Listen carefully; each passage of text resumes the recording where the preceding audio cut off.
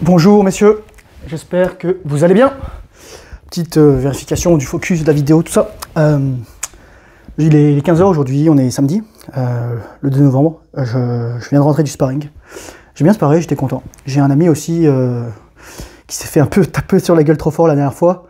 Encore une fois, bah, c'est un débutant et la plupart du temps, les gens ils savent pas comment sparer. Ils pensent qu'ils sont sur des sacs alors qu'ils sont sur des personnes et ils n'ont pas forcément le bon équipement. Et euh, comme je dis toujours, on ne serre pas les poings lorsqu'on fait du sparring. Sauf si on veut blesser.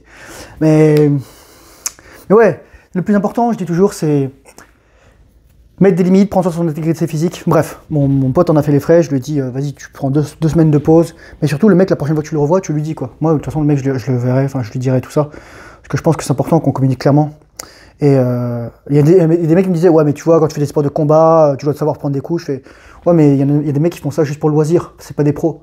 Et donc, euh, leur but, c'est pas non plus de faire un combat, donc c'est pas non plus de, finir avec une commotion cérébrale ou des brain damage à, à 25 ou 30 ans, quoi. Donc voilà, faut mettre les choses en perspective. C'est le coup de gueule du jour. Donc ouais, je viens de rentrer du sparring, là, je viens de rentrer de une heure de boxe, une heure de kickboxing, une heure de sparring, tout ça à jeun. Les 15 heures, j'ai pas bouffé. J'ai j'ai un petit peu faim, hein, honnête avec vous. Mais euh, j'ai envie de faire cette vidéo parce que je voulais parler de comment gagner au jeu de la vie. Comment... euh, comment en fait, c'est super simple. C'est le titre de la vidéo. C'est la rétention séminale rend tout plus facile. Moi, je vais te dire un truc. Lorsque j'étais pas en rétention séminale, j'avais et que j'étais à HEC Montréal, j'avais un abonnement au CEPSOM, à côté de là où j'habite. CEPSOM, c'est le centre d'entraînement physique et sportif de l'Université de Montréal. Et c'était super dur pour moi d'y aller, littéralement. J'éjaculais, je me dis, ah, je vais y aller après. T'as plus envie de rien, t'as plus envie. T'as littéralement plus envie. Tu, tu vas te battre contre des hormones qui sont surpuissantes, qui, qui t'empêchent de, de faire ce que tu veux parce qu'elles te rendent satisfait, elles te rendent content. Et moi, c'était super dur. Mon appartement, c'est le bordel. Je faisais pas les litière de mon chat. Euh, je, je m'entraînais pas. Je bouffais de la merde. euh, J'étais vegan, les gars. J'étais vegan pour plaire à une gonzesse. On est Non, j'étais vegan parce que je pensais que c'était la meilleure chose et je me disais, ah, peut-être que c'est comme ça, si je suis vegan, elle, elle va vouloir coucher avec moi. Ouais, les gars, moi aussi, je suis passé par des phases un petit peu, un petit peu tendues. Mais je ferai une vidéo sur euh, pourquoi, pourquoi, euh, pourquoi je suis plus vegan et pourquoi j'étais vegan et tout ça. Et je, raconterai tout ça. Végétalien et tout le bordel.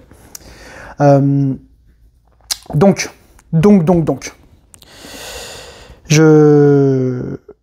Contrairement à avant, alors que ma mère me disait toujours Ah, mais Thomas, tu verras quand tu seras plus âgé, t'auras. T'auras.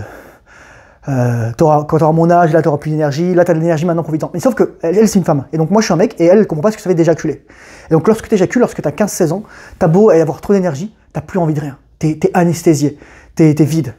Et donc, la rétention similaire rend tout plus facile parce que, qu'est-ce qui est difficile? Enfin, les choses faciles restent faciles, mais les choses difficiles deviennent faciles. Il y a un de mes adjudants dans l'armée qui disait euh, entraînement difficile, guerre, euh, guerre facile, mais, mais guerre difficile quand même. En fait, ce que ça veut dire, c'est entraînement difficile, guerre plus facile, mais guerre difficile quand même. Voilà, c'est ça qu'il faut comprendre comme ça. Et c'est la même chose avec la rétention séminale. La rétention séminale, c'est un peu comme une préparation permanente pour une opération spéciale ou la guerre. Et il y a un mec qui faisait une vidéo sur, euh, en disant la rétention séminale est plus dure qu'un entraînement, euh, un entraînement d'effort spécial. Et je vais vous dire pourquoi, les gars. Parce que l'entraînement d'effort spécial, il, a une, limite temporelle. Il commence à A, il finit à B, basta. La guerre, éventuellement, bah, t'es en théâtre d'opération extérieure, on te rapatrie, c'est fini. Voilà. Mais la rétention séminale, les mecs, c'est toute ta vie. Je l'avais dit dans ma précédente vidéo, mais je le répète, je le réitère. Il faut que ça te rentre dans la tête. C'est pour ça que la rétention c'est si dur, parce que c'est toute ta vie. C'est un pacte avec toi-même. C'est un pacte avec la partie divine en toi. C'est tellement important que tu comprennes ça. Et tu éduques les autres garçons là-dessus, tu dois éduquer toi-même, mais aussi tu éduques ta femme ou les femmes qui sont autour de toi. Moi, ma mère, je- au bout d'un moment, elle regarde mes vidéos, elle comprend, mais je, je suis le jour et la nuit, moi. Avant, les gars, mais vous vous rendez compte, j'avais la flemme de faire 15 minutes de marche ou 5 minutes en vélo. Bon, quand c'était l'hiver, quand il faisait moins de 2500 là à Montréal, c'est sûr que t'as pas trop envie. Mais là, maintenant, les gars, je suis parti, je me suis, je me suis couché à 1h du, matin. J'ai pris des somnifères pour dormir, mon, mon chien m'est arrivé à 7h, j'ai fait sa litière, me suis recouché, je me suis relevé à 10h15, j'ai fait mon sac, j'ai regonflé mon vélo, j'ai nettoyé ma chaîne, j'ai graissé la chaîne, je me suis habillé, je suis parti, je me suis chauffé, j'ai fait le cours de boxe, puis j'ai fait le cours de kickboxing, puis j'ai sparé, et j'ai sparé hard, les gars. Franchement, je parais qu'un mec, il, arrive en face de moi, bah Comme ça, je pris droite, direct, là, je fais, ah mais, voilà, lui, lui, il a 8 ans de boxe, le mec. Franchement, il est très bon, etc. Mais il a pas. C'est rien de taper fort. Tu punis le mec. Tu sais, tu lui disais, ok, là, tu m'as mis. Et tu sais, ton poing, il était tendu. Tu, tu te prends le pad dans la gueule et c'est rien d'enfoncer et de fermer le poing, quoi. Ok, le mec, il a compris. C'est bon, je lève ma garde. Pareil, si je suis en bas et je, je ressors pas trop vite, boum, percute arrière. Et voilà, je sors. Mais je me suis bien débrouillé là, je, sentais que j'ai progressé. Même lui m'a dit Ah, c'est bien Thomas, là, t'as bien. Genre, mis les esquives par ça, pa, pa, pa, pa, pa. J'aurais dû filmer, j'aurais dû le filmer, mais j'en filmer d'autres, je pense. Mais depuis que je me suis filmé, j'ai l'impression que j'ai fait un énorme progrès.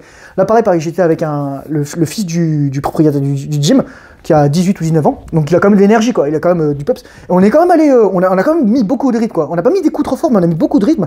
Et franchement, c'était bien parce qu'il avait vraiment des bons mouvements de tête. Mais justement, moi, dès que je rentre, mon but c'est de rentrer et ensuite de punir, quoi. C'est trop ça. Et je me suis éclaté, les gars. Franchement, je me suis éclaté. Mais voilà, là, il est 15h10, 15h15 je suis comme ça là devant ma caméra et je dis voilà oh je bien. Mais ça pourquoi les gars? Mais je vous, je vous vois encore ma salade. C'est la rétention séminale. Et voilà. Comment gagner au jeu de la vie? En, en pratiquant la rétention séminale Parce que les gens disent souvent la vie est un jeu vidéo. Non non non, c'est les jeux vidéo qui s'inspirent de la vie. Et le problème c'est que le plus grand problème qu'on a dans la vie réelle, c'est qu'on se voit rarement monter de niveau. On se voit rarement monter de niveau. On vieillit, on avance en âge, il y a du temps qui passe, mais on n'a pas forcément des, sanctions. Les moments où des sanctions, une sanction peut être positive ou négative, hein. ça peut être une, récompense, une punition, une sanction. Une sanction, c'est neutre. Mais sanctionner l'avancement, ça c'est par exemple, quand tu es dans l'armée, bah, tu, passes, tu montes d'un grade, ou euh, voilà, etc. Mais en, temps, en développement personnel, tu le vois pas forcément. C'est moins perceptible, c'est pas invisible, c'est moins perceptible. moi je me le sentais là, mes pensées, elles ont changé. Depuis j'ai commencé à lire Zéro Limite, là, de Joe Vitale, euh, Ikalea Akalukulen, j'oublie toujours son nom, Ikalea, voilà, ça m'a changé la vie. Je sens que ma vibration, elle a changé. Je suis un step au-dessus, les gars. Je suis un step au-dessus. Et euh, voilà. C'est juste comme ça. C'est tellement simple. J'ai envie de vous dire, c'est tellement simple de. disons, votre vous potentiel n'attend juste qu'une décision de votre part c'est de vous engager sur le chemin de la rédemption séminale. Il y a même un mec là qui, bon, je l'en ai parlé peut-être dans, dans, des trucs, qui parlait justement des, il disait qu'il était sous stéroïdes, et parfois il faisait des cycles, et il disait quand j'étais en cycle, et en plus je prenais dans la rédemption séminale, il y avait, c'était pas photo, c'était deux trucs différents. Mais oui, c'est normal, parce que c'est pas juste la testostérone que t'as dans les couilles, c'est littéralement des spermatozoïdes, les gars. Donc les mecs qui me sortent, ouais, moi je, je suis testostérone exogène parce que bah, j'ai un problème au cerveau, etc. Mais mec, t'as des spermatozoïdes, les gars, c'est vos enfants que vous avez dans les couilles, les gars, c'est vos futurs enfants. Je répète encore dans mes vidéos précédentes, mais je, veux, veux enfoncer le point. T'es responsable de tes enfants, de ta vie, de, la, de l'énergie de Dieu, mec. Tu peux pas dilapider tout ça. Et ça, voilà, ton corps, il sait quand tu lui fais du bien. Il y a les trucs excès, il a la, testostérone qui va utiliser pour faire du muscle, pour être musclé, pour euh, tolérer mieux le froid. Moi, en plus, c'était douche froide ce matin, les gars. Moi, je me suis levé douche froide. En plus, là, je, m'attache les cheveux comme ça. Comme ça, en fait, ça, ça, m'hydrate la tête, mais les cheveux protègent. Mais euh, comme l'eau est froide, l'eau froide est beaucoup plus dense que l'eau chaude, ça me pénètre pas trop, pénètre pas trop. Ensuite, je sèche rapidement et ensuite, bah, je suis parti, voilà, je suis parti en vélo. Voilà, et là, je suis rentré en vélo et là, j'ai la patate, les gars. J'ai pas bouffé. J'ai pas bouffé depuis, euh, bah, depuis hier soir 23h parce que sachant que j'ai encore une petite histoire. Hier, je suis allé. Euh, euh, donc, j'ai fait, je suis allé une soirée chez un pote déguisé en singe et et ensuite, j'ai bu un petit peu de vin. J'ai bu littéralement 2 centilitres. Vous savez, vous avez les verres rouges, les verres, les verres souvent comme on voit dans les, séries télévisées ou les films américains. Et en fait, ces verres, ils, ont, ils ont des, des, des, niveaux et en bas, pour indiquer en fait des niveaux. par exemple, le petit, le petit truc en bas, c'est un shot. C'est 2 centilitres. Donc je me suis mis un shot de vin. rouge, voilà, j'ai bu 2 euh, centilitres de vin. Et je fais, oh, il est bon. Et juste, j'ai adoré le goût. Voilà. Mais à côté, il y avait des chips, donc j'ai mangé des chips. Il y avait des concombres. Et donc je me suis dit, ok, je vais me punir.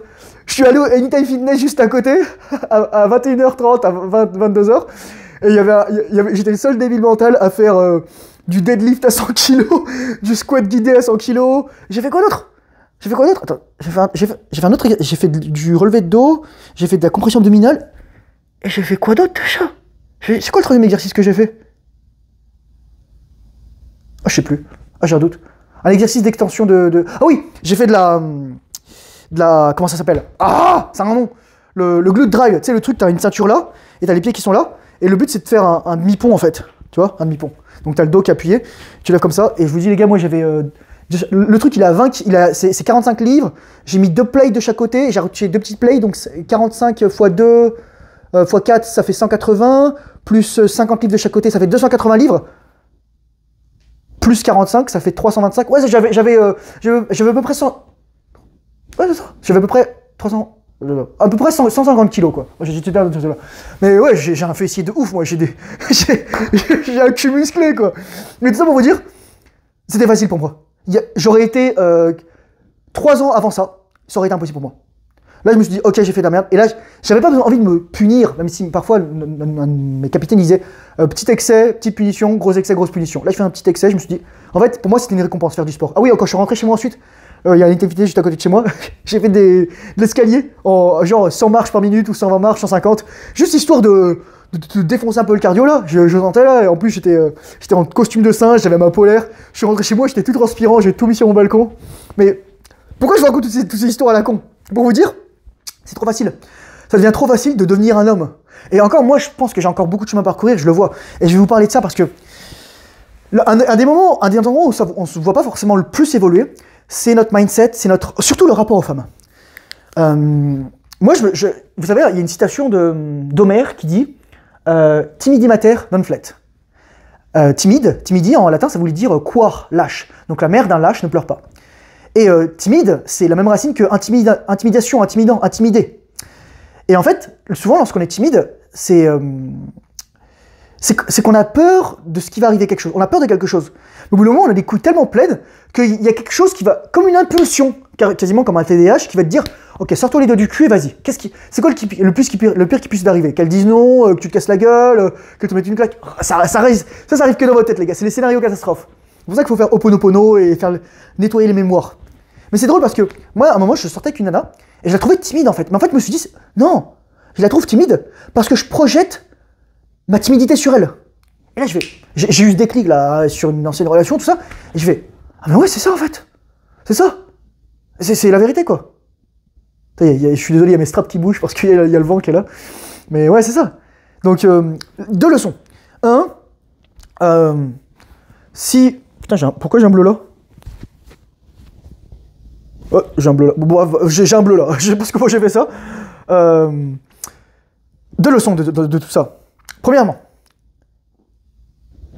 si vraiment tu es inspiré pour aller voir une femme, mais vraiment au-delà au du cul, parce que moi je lui dis toujours, moi le sexe je peux en avoir, mais du bon sexe, c'est quoi? C'est du sexe connecté, c'est du sexe avec une personne bien, c'est du sexe qui n'ouvre pas la relation, c'est le sexe qui chapote la relation, c'est le sexe qui, qui est la cerise sur le gâteau de la relation. Et ça c'est ça c'est ça de la connexion les gars, c'est ça qu'on veut. Et si tu es inspiré, si surtout si tu si, si, tu es honnête avec toi-même, si tu trouves que si tu, es plus attiré par la femme par, par, euh, par sa personnalité ou par, par le fait que tu as envie de découvrir sa personnalité pour voir si vous êtes compatible que son physique. Moi, je dis toujours, le physique, c'est le piège. moi, souvent, là, bah, par exemple, hier, je suis, je suis sorti, etc. Il y avait des meufs qui étaient maquillées, tout ça, tu sais, qui se faisaient méga belles. Et me dit, en fait, non. Et il y a un mec qui a, dit, ça aussi dans, dans, un de mes commentaires, il me disait Ah ouais, mais Thomas, quand il dit qu'il est fait maquiller, moi j'étais pas d'accord. Et en fait, ah, j'ai réfléchi à tout ça. Parce qu'en fait, quand on est petit, les filles, elles sont pas de maquillage. Donc on, on aime les filles naturelles. Pourquoi les femmes, elles se mettent du maquillage ensuite? Insécurité, les gars. Donc, la, société moderne, les cosmétiques créent des insécurités chez les femmes. La vieillesse, etc. Moi, je dis, si tu es une femme, tu veux minimiser tes risques de. Enfin, tu veux, minimiser ta, peau qui tombe, les rides, etc. Bah déjà, tu ne te fais pas pourrer par un milliard de mecs. Tu prends soin de ta santé mentale. Tu manges bien. Euh, voilà quoi. La même chose que pour les hommes. Sauf qu'en plus, nous les hommes, on a la rétention séminale. Éventuellement, toi, tu peux faire des, exercices de circulation d'énergie sexuelle, comme l'exercice du cerf. Alors, je vais répondre à une question parce qu'il y a un mec qui m'avait envoyé une question trop bien, euh, Laurent, je crois. Euh, il m'avait envoyé la sexologie du Tao, il me disait, euh, le Tao de la sexologie, il me disait, mais, euh, si les femmes n'ont pas leurs règles, pourquoi, pourquoi elles, deviennent quand même, elles ont quand même la ménopause Parce qu'elles ne pas leurs œufs? Parce qu'en fait, les femmes préparent toujours des œufs. Mais tous les œufs ne sont pas viables. Tous les œufs ne tombent pas au moment du cycle hormonal. Donc il y a plein d'œufs qui sont créés, par exemple, qui sont, qui sont sortis alors que c'est pas le cycle hormonal. Si tu vas voir ma masterclass au vue, je la mettrai dans le i. et donc ils sont pas au, au type, et c'est l'œuf qui arrive au bon moment donc l'œuf qui a été prévu 70 jours avant, temps de gestation d'un œuf de femme, euh, autant de pratiquement que le temps de gestation d'un spermatozoïde. Sauf qu'il y a un mec qui me disait, regarde Thomas, c'est pas possible que les spermatozoïdes vivent plus, plus 20-30 jours. Je sais que les œufs de la femme, ils vivent jusqu'à sa ménopause. Bon après, ils sont plus de bonne qualité parce que les œufs de la femme ont son âge. C'est-à-dire que si la femme a 30 ans, ses œufs, ils ont 30 ans. Si la femme a 35 ans, ses œufs, ils sont 35 ans. Si la femme a 18 ans, ses œufs, ils ont 18 ans.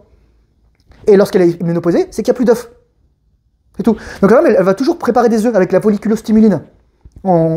C'est une hormone aussi que nous, on a, aussi chez les hommes, mais qui n'a pas forcément la même fonction, qui sert à stimuler la production spermatozoïde, mais en permanence. Voilà. Et ensuite, tu as l'hormone luteinisante, là, qui, permet, qui prépare les gonades pour la testostérone avec les cellules de Leydig. Tout ce que je sais. Donc voilà, c'est pour ça. C'est pour ça que les femmes, même si, euh, avec la technique du cerf, elles peuvent faire circuler, pas forcément avoir de euh, production d'ovules. Donc littéralement, ah, bah, je ne sais pas dans quelle mesure c'est réalisable, mais je suppose que si un homme peut contrôler son éjaculation, son orgasme, une femme, elle peut contrôler aussi beaucoup plus sur son cycle menstruel qu'elle veut bien le croire. s'il n'y a pas tout ça. Voilà. Donc tout ça pour, pourquoi la réinsertion séminale rend tout ça plus facile? Parce que là, tu as plein d'habitudes, de bonnes habitudes à mettre en place. La méditation, la respiration, ranger chez toi, euh, bien manger, euh, journaler, etc. Et ça devient facile.